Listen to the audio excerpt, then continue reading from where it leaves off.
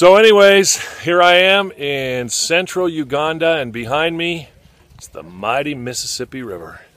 Look at it, rolling on so majestically. You know that is the River Nile?